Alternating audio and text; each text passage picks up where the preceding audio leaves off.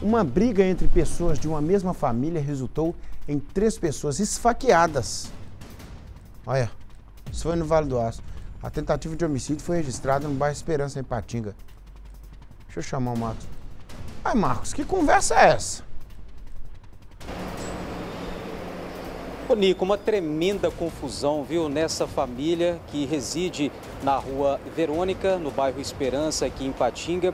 Olha só, segundo a PM, um homem de 32 anos, ele foi atacado brutalmente dentro da própria casa é, por dois indivíduos. Trata-se de um, um homem, né, um adulto e um menor infrator. Ambos estavam de posse de uma faca e começaram a atacar esse morador, esse homem de 32 anos.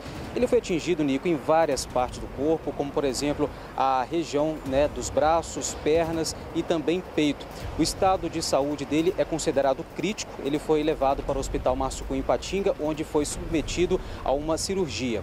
Uma mulher de 33 anos tentou né, é, a impedir esse ataque no momento em que esse homem, né, tem, em que o homem né, e o menor tentavam esfaquear ali esse outro homem de 32 anos porém ela também foi atacada na região dos braços, né? foi levada para a UPA, a unidade de pronto atendimento aqui em Patinga, que fica no bairro Canaã, onde ficou lá em observação.